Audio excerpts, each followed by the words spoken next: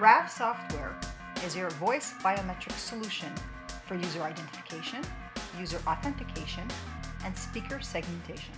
Let's see how this works. We start by logging in. We log in using our username and our password. But our password in this case is not a regular password, it's going to be our voice.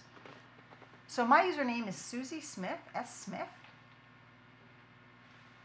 And to access my account, I repeat the following phrase, which is randomly generated. Golden Retrievers, Beagles, and Poodles are popular dog breeds. I hit the login button and the system verifies that my voice matches and that I've repeated the correct passphrase.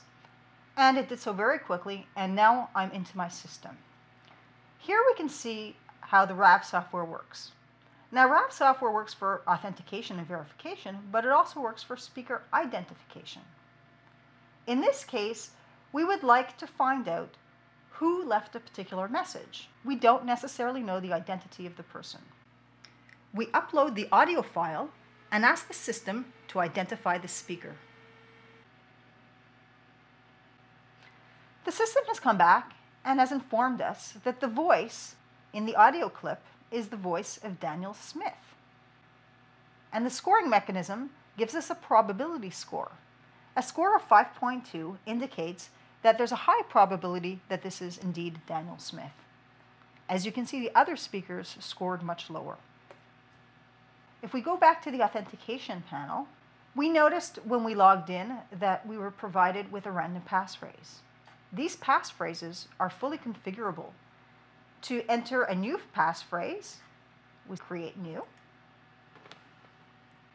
And we simply type the text that represents this passphrase.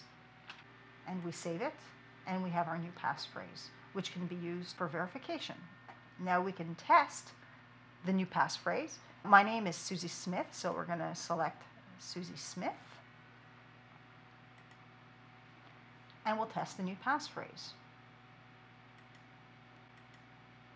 This is the passphrase for the video demo. And the system has returned the results. The system recognized my voice and confirmed that I repeated the correct passphrase. To identify a speaker or authenticate a speaker, we need to compare their voice to their voice print. To do this, we load a sample of their voice into our enrollment panel.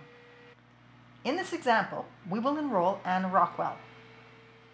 Now that we've had a conversation with Anne Rockwell and we've captured her voice, we can create her voice print in our database.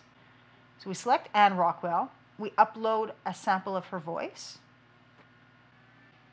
and once we like the set of samples that we're going to use to create Anne Rockwell's voice print, we click on Enroll Speaker. and the system indicates that the speaker has been enrolled. Thank you for watching the Perceive Solutions RAV demonstration.